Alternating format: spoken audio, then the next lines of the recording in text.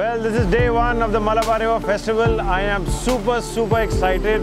We have kayakers from all over the world. We have kayakers from all over Asia. We have the best kayakers from India.